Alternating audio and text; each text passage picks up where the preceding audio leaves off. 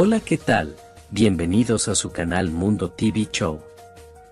Donde recibe las noticias más importantes del país y el mundo, si eres nuevo no olvides suscribirte y activar la campanita de notificaciones para que no te pierdas ninguno de los videos que subo al canal. Información de último minuto nos informan que delincuentes le acaban de quitar la vida de varios disparos al vigilante de una estación de combustible. El ahora fallecido fue identificado con el nombre de Miguel Ángel Valle de unos 44 años de edad. El lamentable hecho se produjo en la estación de combustible Ecopetróleo que se encuentra próximo a entrada Santo Cerro, Burende en La Vega. Se presume que el móvil fue para despojarlo de su arma. Desde el lugar nos llega video con los detalles.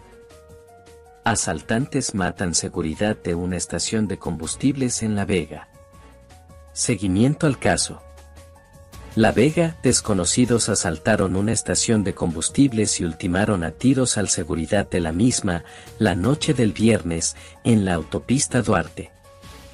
Específicamente en la localidad de Burende, La Vega. La víctima fue identificado como Miguel Ángel Ovalle Vázquez, de 48 años, quien fue despojado del arma con que reguardaba el espacio.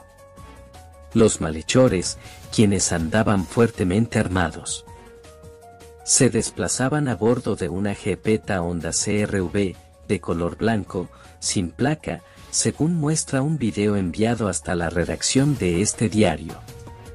Se desconoce hasta el momento con qué cantidad de dinero habrían cargado y qué otros objetos fueron sustraídos del establecimiento. Al lugar acudieron miembros del Sistema de Emergencias 911, del Departamento de Investigaciones de la Policía Nacional, del Ministerio Público, la Policía Científica y un médico legista que procedió con el levantamiento del cadáver para los fines correspondientes. Un comunicado de la institución del orden señala que están realizando las pesquisas correspondientes para dar con el paradero de los responsables.